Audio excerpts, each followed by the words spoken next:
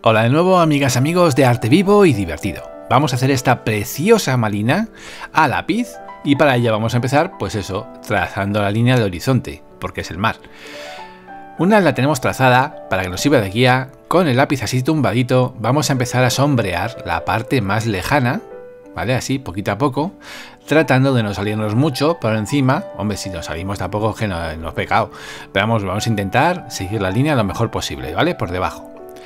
Mirad cómo voy cambiando de ángulo de cómo cojo el lápiz, ¿vale?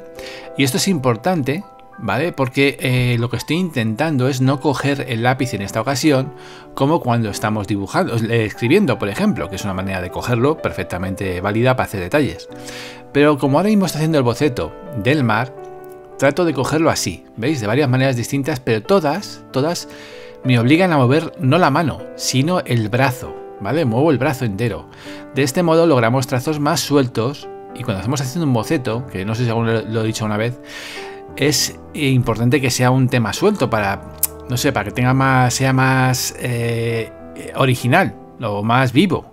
Entonces, si obligáis a vuestra mano a estar suelta, a no seguir ahí detallito tras detallito con los, con los dedos, os van a, a salir detalles mejores. Y en el mar es muy importante porque lo que estamos aquí dibujando, que además no es la típica ola así curvadita, sino es más bien una ola que choca contra otra ola, es el mar totalmente revuelto, totalmente revuelto. Eh, y, la idea, la idea es eso, que, que sea vivo, que esté en movimiento. Así que no podéis utilizar la mano agarrotada para poder dibujarlo. Tenéis que ¿Y cómo se hace esto? Pues eso, dibujando desde el brazo. Como el brazo no puede hacer mucho detalle, pues al final os lográis unos trazos más sueltos. Ya está, ya lo he dicho, técnica súper técnica, pero que de verdad funciona muy bien. De hecho, cualquier, lo primero que te van a decir en cualquier sitio que vayas a aprender a dibujar es que cojas el lápiz así o parecido. cada maestro tiene su técnica pero casi todos la, idea es evitar que podáis mover, cogerlo y agarratar la mano, ¿vale? Sobre todo en esta parte. Luego ya para los detalles lo cogéis como queráis. Bueno, este sigue siendo el lápiz 2B, ¿vale? De otra marca, pero es que como habéis podido observar, el lápiz que estaba utilizando se había quedado muy corto, me estaba resultando incomodísimo para dibujar. Digo, vale, pues lo cambio y ya está, se acabó. Como tengo aquí varios un montón, pues cogí otro 2B y ya está. Le saca punta y tal. Vamos reforzando, recordad que una buena manera o un buen truquito para que un mar quede más realista es que el horizonte, la parte más lejana del agua, quede un poquito más oscura que la zona que tenemos cerca. Pero cuidado, que esté más oscura no significa que esté con más detalle. Tiene que estar un poco más borroso, porque evidentemente está lejos, pues ya lo sabemos. Si queremos que una cosa tenga profundidad, que se llama eh, perspectiva atmosférica, tenemos que dejar que lo que está al fondo, lo que está lejos, esté un poquito más borroso, ¿vale? Perspectiva atmosférica. Uh, ya estoy hoy con las palabras técnicas. Ya suelto unas cuantas, ¿eh? Cuidado. Vale. ¿Qué pretendemos en este dibujo, aparte de hacer un mar fantástico, precioso y maravilloso en movimiento? Lograr contraste. Contraste. Ese es el gran secreto de cualquier dibujo. Mirad cómo voy logrando trazos oscuritos así en esta parte. ¿Cómo lo logro? ¿Apretando el lápiz? Bueno, no, apretando no, pasando muchas veces por encima de la misma zona, ¿vale? Sí que es verdad que es verdad que hay papeles que te permiten hacer trazos más oscuros con el mismo tipo de lápiz. ¿A qué me refiero? Pues que cuanto más rugoso es un papel, más le cabe el lápiz entre los poros de las arrugas del papel, ¿sabes? Entonces, ¿qué pasa? Que si utilizáis un papel hiper mega liso, súper, súper liso, no os va a dejar hacer eh, contrastes muy fuertes o, o nos lo va a dejar hacer con mucha facilidad. Porque al final, aquí los papeles, como digo yo, es una cosa que está ahí encima de la mesa y el que domina y la que domina son los artistas, ¿vale? O sea, que no dejéis que nunca papel os domine. Que, oye, que se ponen tercos, pero podéis con ellos, os lo aseguro. Los papeles están hechos para hacer arte. O no sé, pero vamos, están hechos para algo. Yo qué sé, ya se me ha ido la prensa. A lo que voy. Los contrastes. Mirad, en esta zona de aquí veréis que dejo espacios en blanco, ¿vale? Que van a ser como simulando la espuma del agua, la espuma ahí en la, en la orilla, que está todo súper revuelto, la espuma esa blanquita que sale. Pero para que se vea, tengo que meter entre medias espacios oscuros para que, si, no, claro, el papel como todo blanco, pues no se va a ver nada. Así que no cubráis todo el dibujo, sino haced partes oscuras y dejad zonas en blanco. En algunas zonas apretáis con la mina, con la parte de, la puntita, en otras tumbáis más al lápiz y así vais logrando tonalidades distintas. De momento, de momento solo estoy utilizando este lápiz, el 2B, el, todo el rato, para eh, la, base primera del dibujo. Pero me vais a ver hoy utilizar las mismas herramientas que vimos la semana pasada en el anterior vídeo, porque me, ha, habido, tal avalancha de correos y de preguntas sobre esto, que al final he tenido que cambiar mis planes del tutorial que pensaba sacar esta semana para un poco, eh, un poco tratar de, resolver estas dudas, porque ha, habido un montón y claro, al final me, harto a responder email, ya, ya, ya, ya no me daba tiempo. Digo, mira, lo pongo en un correo, o sea, en un vídeo y así es más fácil todo. A ver, de verdad, Importante, como siempre, podéis dibujar y pintar con lo que tengáis en casa, lógicamente.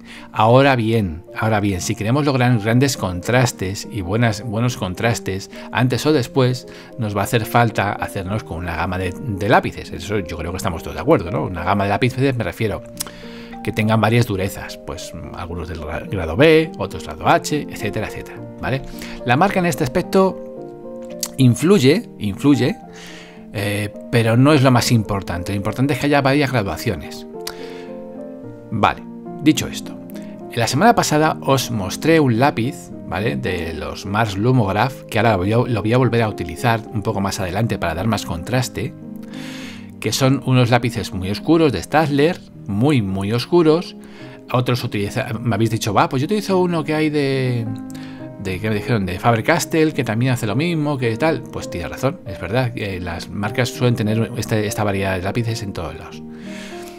Pero, en caso de no tenerlo, pues hay un truquillo que luego os voy a contar más adelante en el vídeo, en caso de no, tenerlo, con una cosa que seguro, seguro tenéis en casa. Y si no la tenéis vosotros, pues algún miembro infantil de vuestra casa seguro que lo tiene en el estuche. Luego os digo el truco, que si no vais ahí y no veis todo el vídeo, Claro que esto. ¿Por qué utilizo esos lápices ahora y no antes? Pues porque, porque otra de las grandes peticiones que hay siempre en el, en el canal es, vale, haces muchos dibujos básicos, pero también quiero ver cómo se utilizan algunas de esas otras cosas que hay en dibujo. Pues por eso tenemos que aprender a utilizarlas.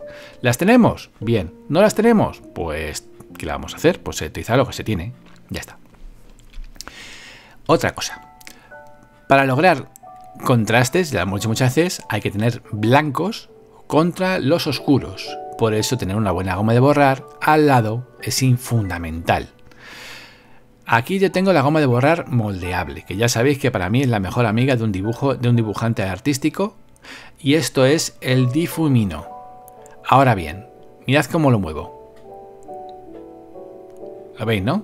En este caso lo he movido de arriba abajo, de lo claro a lo oscuro, y, entonces lo que hago es difuminar una parte y concentrar el oscuro. Pero lo puedo hacer aquí en lo oscuro, fijándome, ¿veis? Y así no lo extiendo y mantengo las partes que yo quiero que estén oscuras y no las mezclo. ¿Por qué digo esto? Porque es muy importante cómo movéis el difumino para lograr unos efectos u otros. No es lo mismo moverte desde la parte clara hacia la oscura, Que lo único que hacéis es emborronar y poco más y no estáis moviendo los tonos de sitio, que si movéis el, difumino de la parte oscura a la clara, estáis extendiendo la oscuridad. Por tanto, todo se os iguala mucho. No lográis, no lográis un degradado, lográis eso, una, una, oscuridad. Hay que ir haciendo pruebas e ir despacito, porque el difumino, eso sí, si te pasas emborronando, te puedes cargar el dibujo. ¿Vale? Es fácil, porque cuando te emborronas mucho una cosa, al final no se ve. Así que es bueno ir poco a poco, poco a poco. Y vale, sí, ya es cierto, y tengo un poco más de práctica que vosotros en utilizarlo, y pues hombre, pues voy un poco más deprisa. Pero vosotros no tenéis por qué ir tan deprisa, no, no hace falta. ¿Vale? Esto no es una carrera, esto es dibujo y hay que, hay que disfrutarlo. Veis lo que os digo, como tenía la parte oscura en el borde del agua, de la parte de la... la he difuminado hacia abajo para simular el reflejo, y luego unas líneas horizontales, y ya tengo esa parte que está en la orilla mojada de agua con un poco de reflejo. Ese truco ya me lo habíais visto alguna otra vez. Luego le daré un poquito más y lo reforzaré y ya está. Vale, pues ya tengo todo esto un poquito por aquí. Y vamos poco a poco, poco a poco, ¿veis? Difuminando estas partes de aquí.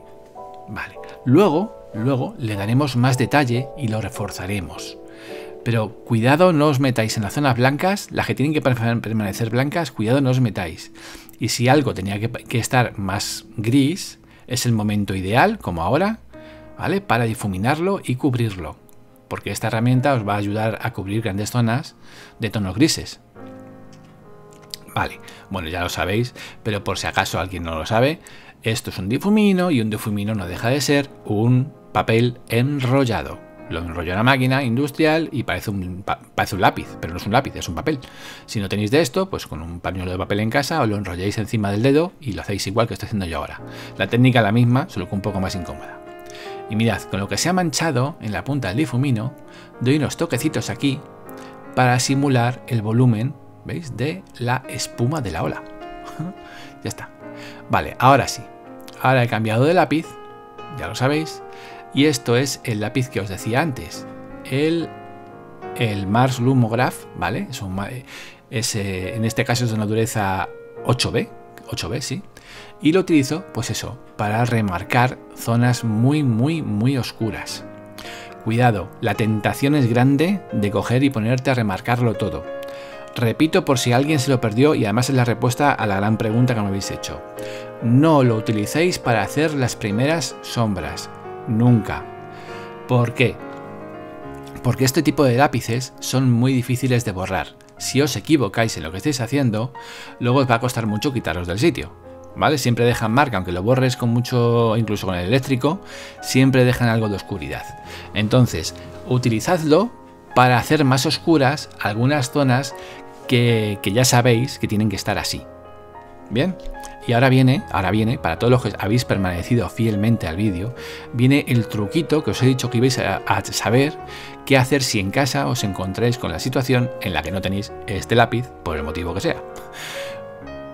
Vale, o vais al estuche que tengáis en casa o cualquier mm, caja de lápices de colores y cogéis la pintura negra, tal cual, y la utilizáis igual que estoy utilizando yo esto. El efecto es muy muy parecido. ¿Por qué se puede hacer? Pues porque estos lápices básicamente es, una especie de híbrido de punto medio entre un lápiz de grafito y una, y una pintura de lápiz de colores negro. Entonces, si es verdad que una pintura de colores es muy difícil difuminarla con un difumino, por ejemplo, pero el efecto negro es muy parecido y el contraste lo podéis lograr igual. Recordad, con eh, un lápiz de colores, el negro, ¿vale? De cualquier marca. Os va a dar ese efecto. Y recordando siempre eso, que donde lo ponéis, probablemente no podéis borrarlo. Así que antes de poner el lápiz en el papel, pensad qué vais a hacer y hacedlo. Que lo peor que puede pasar es que os carguéis un papel y tengáis que empezar otro dibujo, lo cual es una magnífica oportunidad para seguir dibujando, que al fin y al cabo es lo que nos gusta. No, a mí me encanta. vale. Bueno, sigamos remarcando aquí. Para que se vean las olas, da igual en la parte del dibujo que estén, es importante que tengan contraste, tanto por encima, en la parte que está la espuma, como por la parte de abajo, porque se supone que la ola cuando está cayendo, pues proyecta una sombra en el agua, ¿verdad? Dependiendo de dónde esté el sol, a qué altura del día y todas esas cosas, la sombra va a una parte o a otra parte. Pero para esto siempre está una cosa que se llama sentido común. Es decir, bueno, si yo sé que el sol en este caso pues viene de arriba a la izquierda y un poco así lejos de mí, pues sé que las sombras estarán más cerca de mí, debajo de la espuma, en el lado derecho, más o menos. Luego hay otra cosa que es verdad, que si todas las sombras las, ponéis más o menos con coherencia, la mayoría de la gente ni se da cuenta de si las has puesto bien o mal. Yo esto lo explico, os lo explico, pero mucha gente ni se, ni se pispa de eso. Así que no os preocupéis demasiado. Lo único importante es no poner todas las sombras cada una en una dirección distinta, porque entonces no parecen sombras, parecen puntos negros. Venga, vamos a darle un poquito más de difuminado a esto. Como podéis ver, cuesta mucho difuminarlo y por tanto tengo que hacerlo ahí con la, punta. ¿Veis? Porque este cuesta más y si fuese un lápiz de colores negro no podríais. Así, eh, de pronto os iba a costar, pero horrores. Así que con cuidadito porque os podéis cargar el papel, ¿vale? Se puede robar que parece que aprieto mucho, pero en realidad hay que ir con mucho cuidado porque si no, ya os digo que podéis tirar sin querer de papel y lo arrugáis y ya decís, José, que me cargue papel porque me ha dicho utilizar algún lápiz. Que no, que no, que yo no he dicho nada. yo solo doy un consejo y cada uno que haga lo que quiera. Venga, va, voy a hacer el, cielo. Pero al cielo, bueno, que tampoco le voy a meter mucha caña, porque no es el protagonista. Si fuese el protagonista y quisiera hacer nubes espectaculares, hubiese puesto más trozo de cielo. En vez de hacer un tercio de la hoja para arriba del cielo y dos tercios de mar, lo hubiese hecho al revés. Pero en este caso el mar no tiene que ser el protagonista. Pero sí tiene que ser la parte más clara del dibujo. ¿Por qué? Pues porque el mar del cielo viene la luz. Aquí está la otra herramienta por la que habéis preguntado hasta la saciedad. la, goma de borrar así de esta eléctrica, que va con pilas. Las hay de varias medidas, damos dos medidas básicas de mina. Estas finitas, que van para, bien para estos detallitos. Mirad cómo va. Mira, voy a poner así en ese para que lo veáis. Mirad, mirad lo que hago aquí. ¿Veis? Esta cosita que hacen en el mar así, las espumitas. Fíjate qué facilidad, qué facilidad para hacerlo. Si no lo tenéis, pues ya sabéis, cortáis una goma de borrar normal con un cúter o con un cuchillo para que tenga un filo y con el filito hacéis este mismo tipo de, dibujos. Cuando podáis, os hacéis con un bicho de estos que tampoco son caros y duran toda la vida. ¿vale? Lo, que no duran mucho son los recambios, eso sí que tenéis que comprar porque se gastan. Pero mira qué fácil es hacer ahí unos efectos súper chulos en el mar. ¿Vale? A mí me, da rabia porque yo hay veces que veo por ahí tutoriales, yo veo tutoriales de todo el mundo, y veo que han hecho el efecto con esto, pero no, aparece en cámara. Digo, ¿por qué no sacan como lo hacen con la goma de borrar si son importantísimas? A ver, para quitar las, las virutas podéis hacer dos cosas, o soplar, arriesgando a que os caiga algo de saliva o lo que sea, o así, con un pincel ancho y muy suavecito, no tiene que ser un pincel especial, uno que sea suave y punto y mucha suavidad. Y ya lo tendríais quitado las, las virutas. Y este es el lápiz 2H, ¿vale? Mirad cómo lo he puesto así de cerca para que veáis. Voy remarcando zonas que están oscuras, ¿vale? O que quiero que estén más oscuras, pero no me meto en lo que yo quiero, eh, eh, en la, pues esas marquitas que he hecho con la goma de borrar, zonas que quiero que permanezcan en otras tonalidades. Recordad que el agua cuando está así de revuelta tiene muchas tonalidades distintas y nosotros no tenemos colores aquí para, representarlas. ¿Cómo lo hacemos? Pues con distintos tipos de grises y con blancos para que se destaquen. Pues este lápiz nos viene fenomenal para eso. ¿Vale? Podemos hacer desde unos trazos súper suaves grises hasta remarcar cosas que estaban oscuras y dejarlas mucho más oscuras de lo que ya estaban. Con lo cual logramos un, bueno, un nivel de contraste súper, vamos, fantástico. Vale, para las y los que no lo hayáis hecho todavía, ya sabéis que en este canal hay mogollón de dibujos, de pinturas, de tutoriales, de todo. Así que os aconsejo y os sugiero que os suscribáis al canal, le deis al like si os gusta, lo compartís con amigos, amigas y vecinos y vecinas y dinosaurios y dinosaurias de todo el planeta mundial. Y ya lo he dicho, ¡hala! bueno, ya simplemente me quedan cuatro detallitos, cuatro detallitos. Y espero que, no sé, que os haya gustado el tutorial, a pesar de que os tenía prometido otra cosa. Espero haber podido resolver esas dudas que me estáis planteando tanta gente. Yo lo he intentado. y nada, espero que os guste. Os veo la próxima semana. Sed muy felices, dibujad un montonazo y hasta pronto. Chao.